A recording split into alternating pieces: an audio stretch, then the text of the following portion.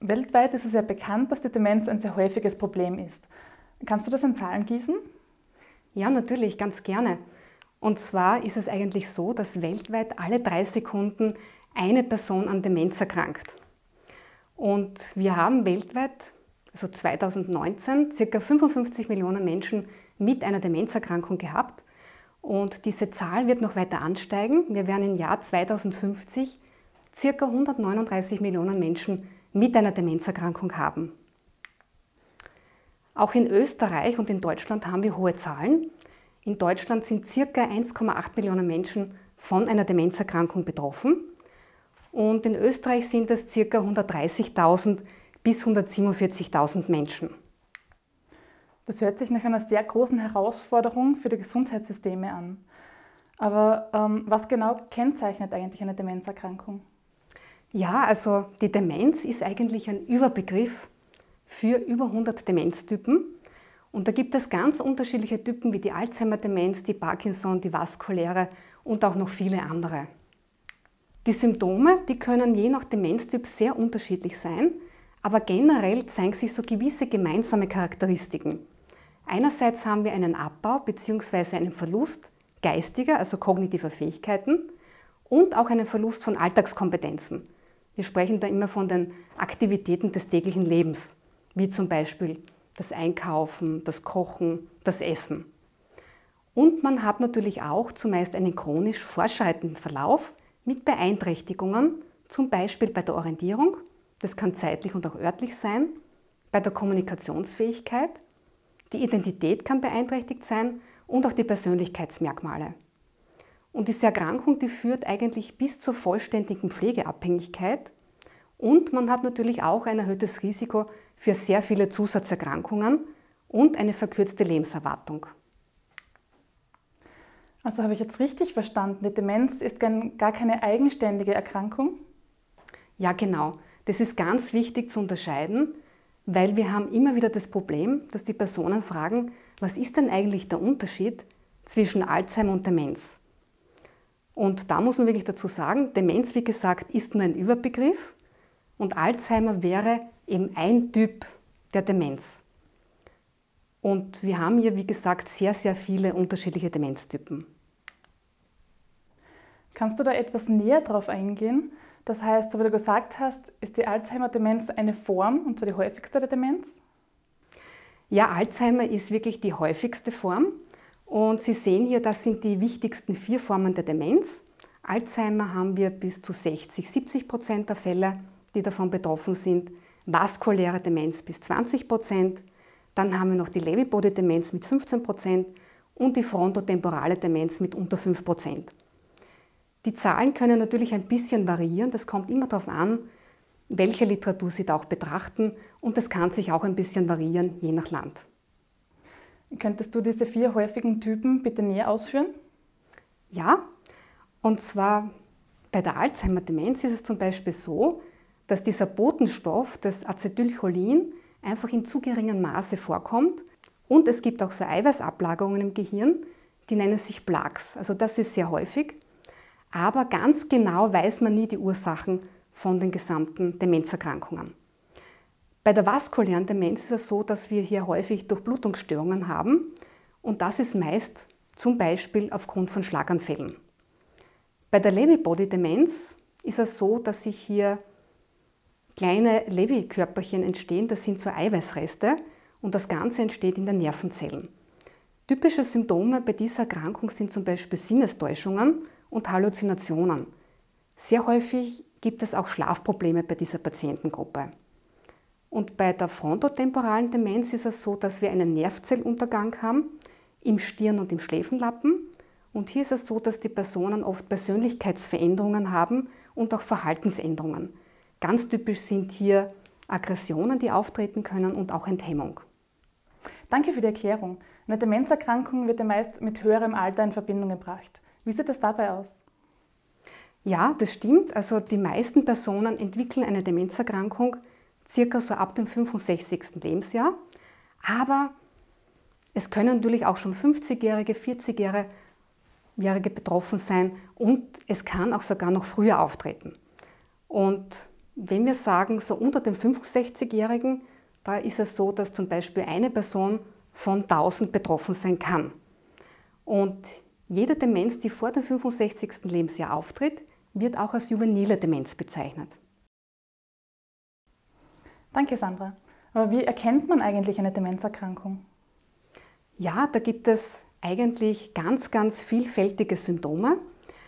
Und es kommt natürlich auch immer darauf an, welcher Demenztyp eigentlich besteht. Aber so im Generellen gibt es typische zehn Zeichen, die auf eine Demenzerkrankung hinweisen können.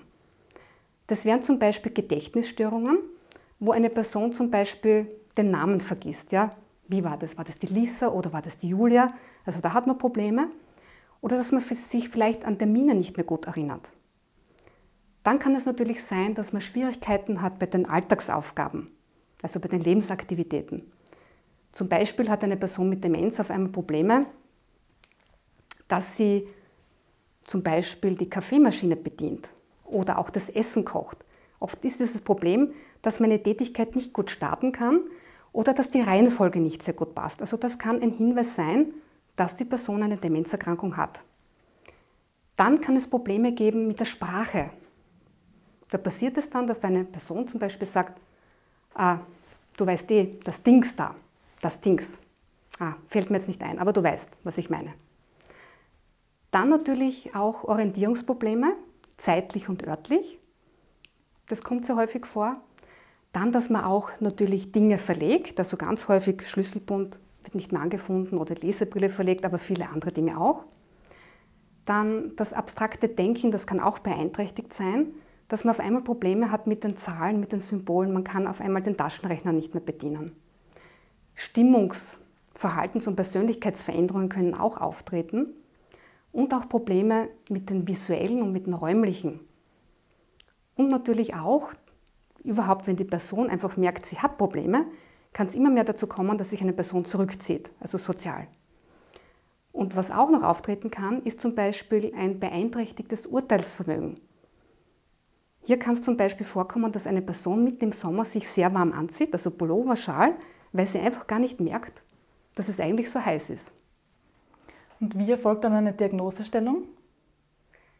Die Diagnosestellung, das ist ganz was Wichtiges und eigentlich ist es meistens so, dass die Person eben selbst merkt, dass etwas nicht passt oder auch die Angehörigen. Und dann ist der erste Schritt einmal, dass die Personen mal zu einem Arzt gehen. Und wenn sie dann dort sind, dann wird vom Arzt meistens eine Amnese durchgeführt. Es werden unterschiedliche Befunde erhoben, körperliche Untersuchungen, zum Beispiel internistische Untersuchung oder eine neurologische Untersuchung. Und es werden auch unterschiedlichste kognitive Tests, also neuropsychologische Testverfahren angewendet, wie zum Beispiel der Mini-Mental-Status-Test. Und mit diesen Untersuchungen stellt man natürlich auch sicher, dass man vielleicht nicht doch eine andere Erkrankung hat als Demenz, weil es gibt sehr viele Differentialdiagnosen und die wichtigsten wären zum Beispiel Depression oder Delir. Wenn das einmal sozusagen ausgeschalten ist, dann kann man sagen, okay, es geht in Richtung äh, Demenzdiagnose. Was ist es für eine Demenz? Was ist es für ein Schweregrad? Zusätzlich kann auch sein, dass man sagt, man macht bildgebende Verfahren, ein MR oder ein CD, vielleicht auch eine Laboruntersuchung und dann natürlich auch, wenn es sein muss, eine erweiterte Diagnostik, wo man zum Beispiel dann auch noch als Beispiel eine Liquoruntersuchung durchführt.